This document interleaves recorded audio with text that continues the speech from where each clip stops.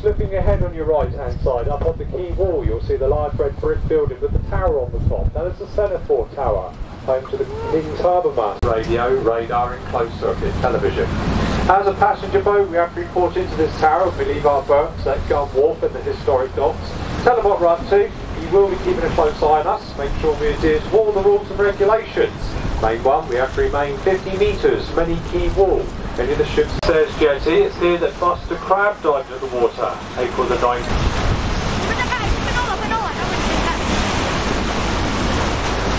You'll notice on the Victory she's still flying the white ensign, and she's still a commissioned warship. She's still part of our Royal Naval fleet.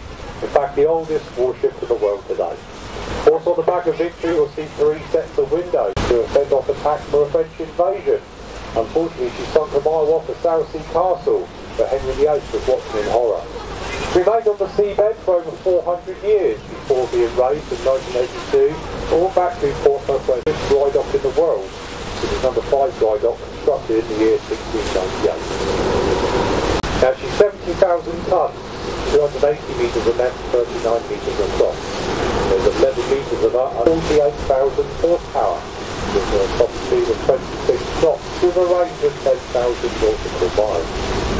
She's carrying the new F-35 Lightning Strike multi-role fighter plane, built in America at a cost of 100 million pounds in to take with her. The deck, on the air deck, is two accommodation blocks, the rear one, flight control. On the Earth, you will find the 679 crew, who can carry a maximum of 1,600 tons.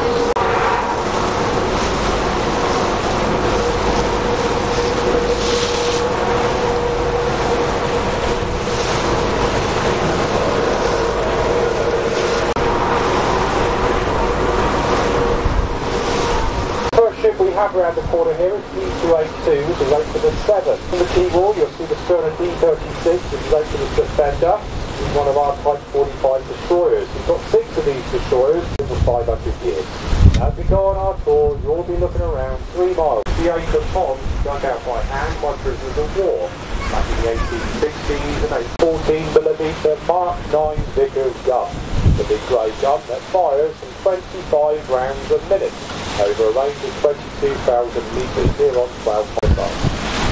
Moving on the forward march, you'll see the grey the spikes, that is the Sampson radar. Carry a Merlin or Wildcat helicopter.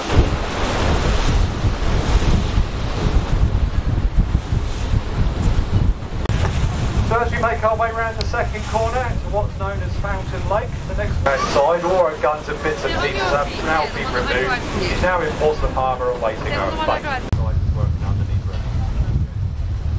You'll notice the uh, superstructure actually built in three separate blocks, so there is a reason for this, they won't have a fire on board. Passed Kent, looking across the quay there, some views number three basin, that's the basin that was dug out by hand by the prisoners of war. They actually used 2,000 convicts and around 1,200 paid labourers in that pumped out.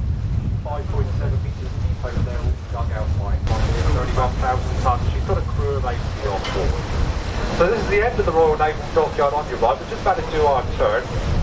As we do so, ahead of us is uh, 60 on your right, the commercial port. There's two key knots ahead of us. Continuing our two another flight service the Channel, the Channel Islands. She has just sailed, so we just got to hang fire for a little while, folks. Then they're going to the ball around on number five minutes round with this wind at the moment. Come on.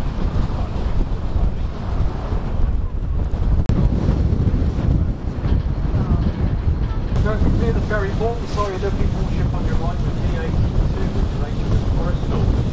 Training ship, and this is where she's been ever since. Now, as you can see, she is a bit of a sorry state. Again, this one has come to the end Whale Island. Great extension of Portsmouth Docks over on your left here, back in the 1860s and 70s. A hell of a much training centre for the Royal Navy, Marine and Sea Cadets. Sea a very good time, but they back ashore and teach them to swim. Now, as you can see Whale Island, keep looking to your right, and right over the other side of the harbour. To the left of the grey hangar.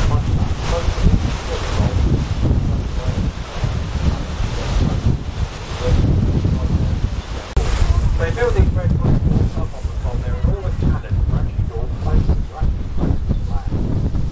Also on top of that hill to the right, you'll see the grey structure up there with the two radar marks.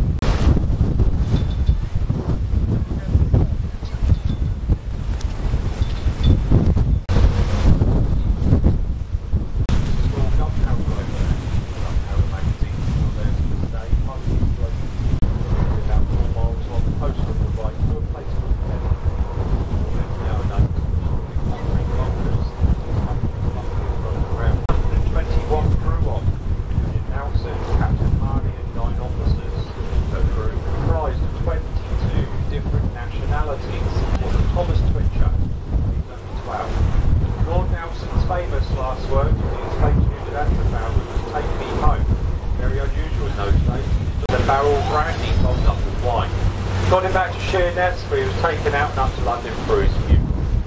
Those days, Brandy, like the crewman did remark that Brandy was definitely on him. Passing the island over on your right to the green bushes and trees, that's called Burrow Island.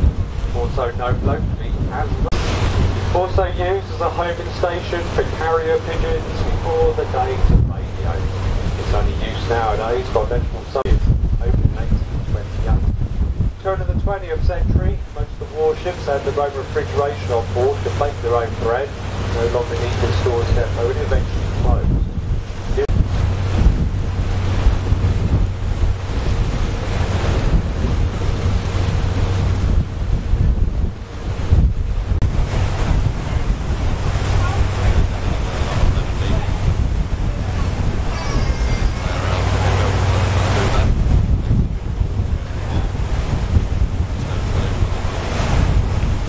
We have another large jetty on your right. This one's called the oil fuel jetty. It's here the various Royal Fleet auxiliary tankers come to load. The various oils and fuels keep the Royal Navy on the go today. On your left hand side you'll get some good news of HMS Warrior alongside her pier. She was launched 29th of December 1860 up at Blackwall in London. That just happened to be the coldest day in Britain for over 50 years and she froze to the slip. Braziers burned around the bottom of the ship. They ordered an extra tug they eventually ended up with over a hundred men on her top deck, running from side to side, trying to rock her free. After 20 minutes, she gave up and slid down to the river. Steam engine on board,